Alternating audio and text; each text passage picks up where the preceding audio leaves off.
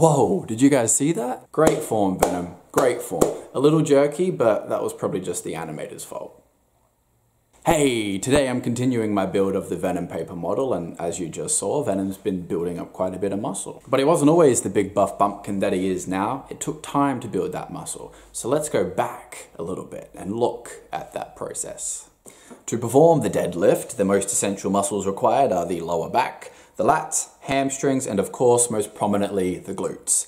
Astounding feats of strength need ass muscles. And on the arms, he still needs the flexors on the inside, the extensors on the outside, and the ridge muscles rounding out the forearm. And the final, final thing will be some upper back uh, stuff. Uh, what about the quads? Shut up, we're not there yet. Then, Venom will be complete. Let's go.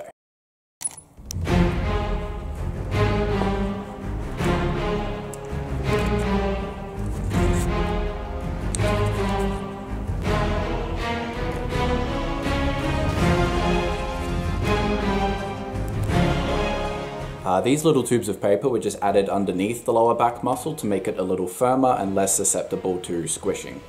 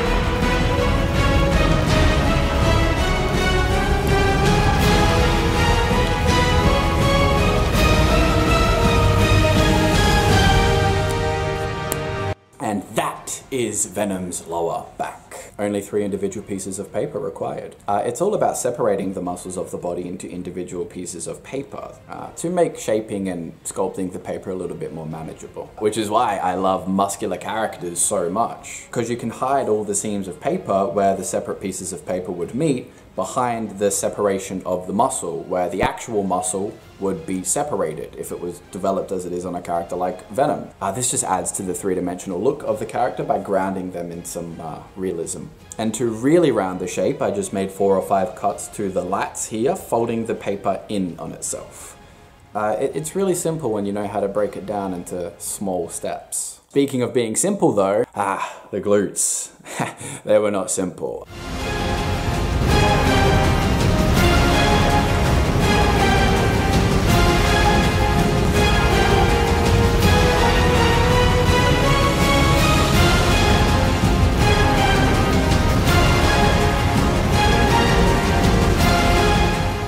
So I have a bit of a dilemma here. The glute muscles actually attach like all the way up here to the top of the pelvis. This is where the pelvis would be, where the obliques attach actually. And so they kind of go like all the way up. And so what I was originally thinking was I was going to just have it as like a separate piece that's kind of going to sit this high. But then I just realized something that, that if say the glute muscle is sticking up this high like that, when his leg pivots outward, it's going to kind of come inward and hit whatever's over this side. So I can't actually make it too high because it won't have the, the clearance space to pivot out because the pivot point for his leg is still here. So I'm gonna have to kind of like curve it outwards a little bit, like to there, I think. I've got an extra tube that I'm going to stick in on this thigh here. The structure piece of the glute will go around this and uh, well let's just see how this goes. I'm thinking, nope, I was wrong. This structure piece here is way too straight. It's too straight up so what happens is when the leg bends it kind of sticks out an un unnatural amount. So just imagine if the butt's actually around here on the back. That's going to be sticking out very, very far. So this part needs to be curved inward quite a bit more to round out the butt a little bit. So now with the structure piece being a lot more curved the way it is now, when his leg bends out, the butt still follows a pretty consistent arc and isn't all of a sudden sticking out here when it's meant to only be there. I now have uh, this second rough copy, which is just a blank piece of paper with like 15 or so cuts to round the shape. By my second rough copy, I already have a very, very satisfactory shape. That's, that's gonna be Venom's butt. Okay, cue the epic music.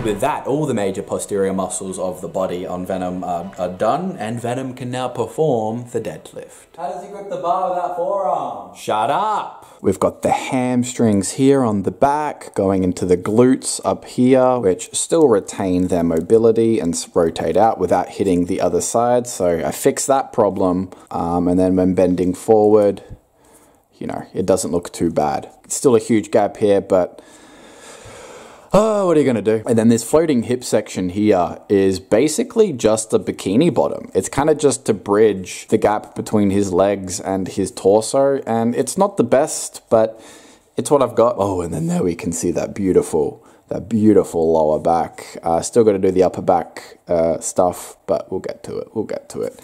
Uh, didn't get to do the forearms did a barbell instead. Um, yeah, and there was one other issue. He can no longer go any further back than that because the the hip joint, this one, is hitting the inside of the glutes. So uh, Yep, didn't think about that. That was one of those issues that I was talking about that I couldn't foresee, but uh, what are you going to do? Who really needs that mobility anyway? Definitely not for the deadlift, I can tell you that. As I've said, this is the first time I've done proper glute muscles attached to the leg as opposed to just being a sort of half-assed. And I mean that literally. Like, Goku is very half-assed. He's missing half of it. Kenjiro too. Katakuri got a little bit of a butt. Nothing compared to Venom's though. Never thought I'd be doing this in a video. But if you do want to play it safe, just wear a skirt. So from the back, he's almost a complete model. So now that Venom can deadlift, the question remains how much can Venom deadlift? Uh, nothing. It's paperweight after all.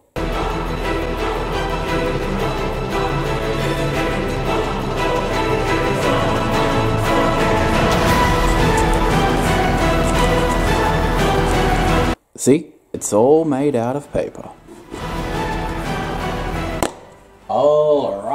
That was a lot of work, and we are nearly there. Venom is looking more and more complete by the quarter. Apologies for this video taking a week or two longer than intended, but uh, having to record the process and think about how to put what I'm doing into words takes like twice as much effort and energy, so... But this has been a bit of a series, hasn't it? I've actually gone and put all my Venom videos into a playlist. If you wish to go back and see me bring this character to life from the beginning, there'll be a link to that playlist in the description. Also down there you'll find a link to my Instagram where I will be posting more photos of Venom and I've already posted a few photos of Venom recently as well as some drawings and then just whatever other stuff I happen to draw. So check that out if you're interested. I'd appreciate it. And that's going to wrap up this video. I appreciate your time as always. Thank you for watching and you'll see me next time.